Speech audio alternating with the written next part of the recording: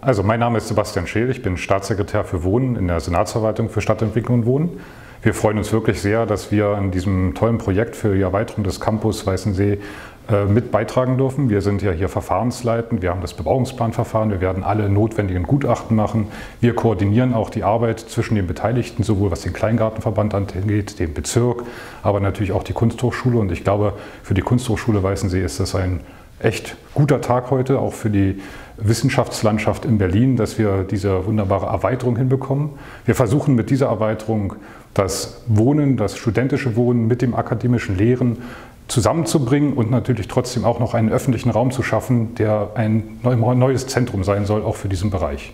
Ich glaube, wir haben deshalb hier beste Voraussetzungen geschaffen, eben auch mit den Kleingärten, dass dort auch eine Verlegung stattfinden kann, aber dass eben dann wir in der Zukunft hier wirklich das Wohnen und Studieren und Arbeiten, aber eben auch eine Aufenthaltsqualität schaffen, die diesen Bereich verbessern wird.